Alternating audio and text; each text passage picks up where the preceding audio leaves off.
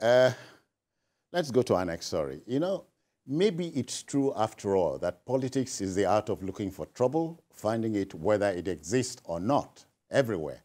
The presidential candidate of the Labour Party, Peter Gregory Obi, has responded to an appeal by his People's Democratic Party, PDP counterpart, Atiku Abubakar, to join in the legal battle challenging President Bola Tinubu's credentials. He, Obi says, is not focused on reclaiming, is focused rather on reclaiming his stolen mandate at the Supreme Court, not Tinubu's certificate. Uh, Tunde, stolen mandate. Was he given a mandate? Well, that, well, that, that it's well, a, well, you see, a pertinent uh, question it, here it is unfortunate, but it's a statement of uh, fact that Nigerian politicians are, I would call them unrepentant optimists. Mm. Because against the run of the law, you, he- he- Obi did not ap- approach the tribunal stating that he scored 8 million votes, probably 2 million above the person. He never told the tribunal the amount of votes he scored. That will have, because the essence of law is to prove beyond all shadow of doubt. doubt. But he never told anybody the figure he got and the, the supposed figure that was deducted from his number to show that he was actually robbed. That the, the mandate was actually told, told or that the figure he got that was added to the person, the president, Bola Ahmed Tinubu, to show that Tinubu stole part of his vote and added to it. Throughout the duration of that trial, nobody mentioned that. So I keep on wondering wh- where he got the stolen, where the stolen mandate, where it was stolen from. I don't know where the mandate was stolen from in the first instance. So he never, and the owners of law is that, like the Chief Justice said yesterday, he said that this time around, we are going to use the Constitution. We are not going to use, uh, judgment is no longer going to be based on emotions Yeah. of the people or public opinion, but the law. And law says that you must prove beyond all shadow Of doubt. so the, the, the, the, the tribunal, the Supreme Court, they are going to act based on the evidence that has been submitted at the Court of Appeal, Yeah. not any other figure. Like I said, uh, Peter Obi wa- was unable to convince or tell Nigerians how much vote he got that is beyond what he got. He was unable to tell. So you don't know where the stolen votes are or how many votes were actually stolen. Okay. Because that is the onus that he has to tell Nigerians that it was a stolen mandate. Okay. So, but uh, uh, Jide is at, is at the apex court, and so we allow the court to do its job. Yeah, uh, good luck to him. Um, we didn't stop the uh, appeal court from doing its job, and the appeal court um, returned a comprehensive verdict after more than 10 hours. Um, and the verdict of the appeal court is that Obi did not win the election. It, Obi, in my view, having not even, because you can score a few millions uh, of votes, but there is a route to the presidency. And the clearest route to the presidency is to have 25% in 24 24 states. states. He didn't even have 25% in up to 20 states. states. So if you didn't have up to 20 states and they're asking for 24, so you have no route to the presidency. It's as simple as that. It's as simple as that. We, the results are there. I think that Obi shocked people by his performance. He did well. You must give it to him. Mm. You know, he did well. There were some conditions that enabled him to score those votes. Many people were not happy About that Asiwaju didn't pick a Christian as his deputy. Asiwaju did what Abiola did back in 1993. Eh, It is extremely tough, if not impossible, for a Muslim from the south of Nigeria to become president, a Muslim presidential candidate to become president unless he finds a running mate from a majority tribe. This is the And you and I know that the majority tribe in northern Nigeria is very, very likely going to be a Muslim. There are Hausa Fulani Christians, but there are very few. Yeah. There are very, very few. And a good number of them are not even uh, politically inclined. and yeah. Yes, you know. But the ones who play politics, the ones uh, that are prominent from the majority tribe over there, they are, they are Muslims. Yeah. You know? So you can choose to pick a Kanuri person or pick a Hausa Fulani person. Those are majority tribes from the north of Nigeria. Kanuri as majority tribe over there in the uh, northeast. Northeast. The Hausa Fulani, majority tribe in the northwest, in uh, some parts of uh, northeast. They are in the northeast as well, in Adamawa. Uh, they, they, they are also even in uh, Borno State, in a local government called Bayo. You will find Hausa Fulani people.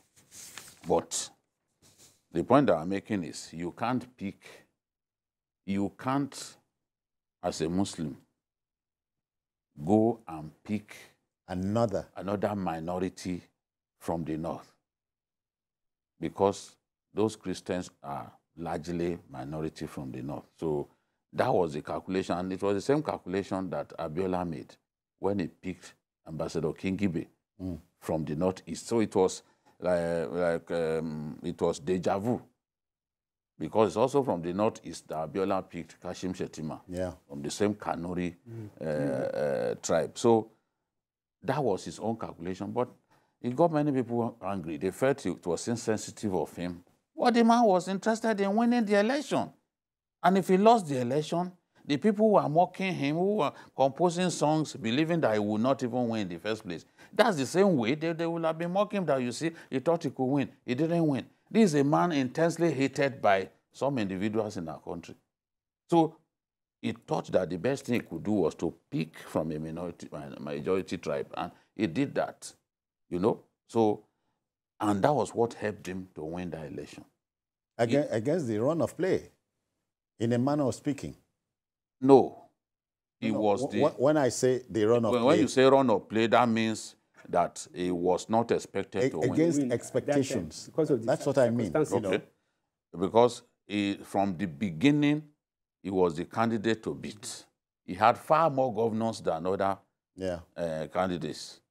But And uh, I, I personally was su- surprised because I never knew he had gone far, you know, uh, because no, but he started Uh, the how- race before that.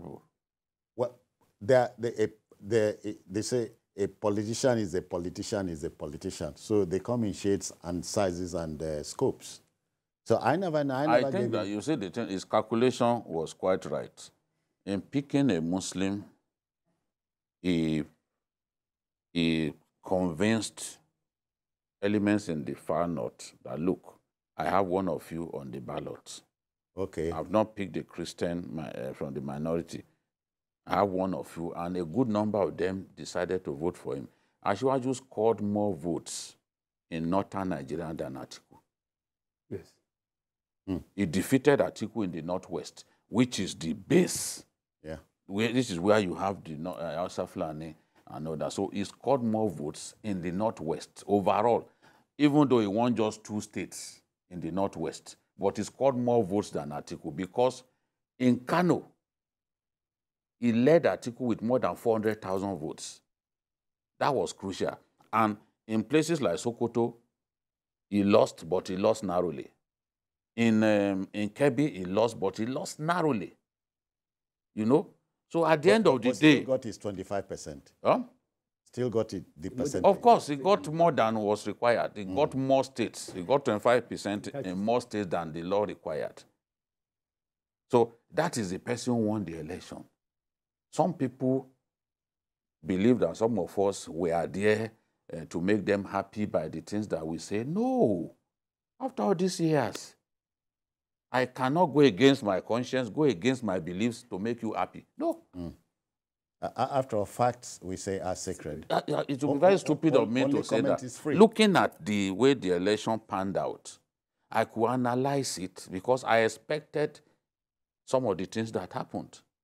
Some of the states that people didn't expect him to win, I predicted here that he would win in this state, and he won. Some of my friends, and where I said PDP will win in some states, some of my friends in the APC, they fought me. But at the end of the day, what I told them was what happened. I told them Asiwaju will not win Sokoto. I told them Asiwaju will not win Kebbi. They said, ah, no, no, no, how can you say we won't win Kebbi? We have a, a governor from APC in, uh, in, uh, in Kebbi State. Mm. It's not by emotions. It's about calculations. What do you think will happen? What do you mm. That's it. So, so, so Obi is saying he wants to reclaim a stolen, underline that mandate. Good luck to him.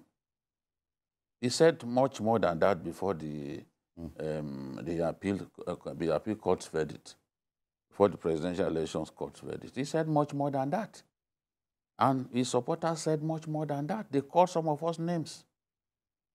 But time is a gentleman, as I always say. Time is a gentleman. Time resolves things, resolves issues. We shall see whether that, there, that, whether time, time whether a mandate was stolen. All right. The court will show to us whether a mandate was stolen or not. And if it, it was stolen, who stole it? Okay. Was it Atiku who came second?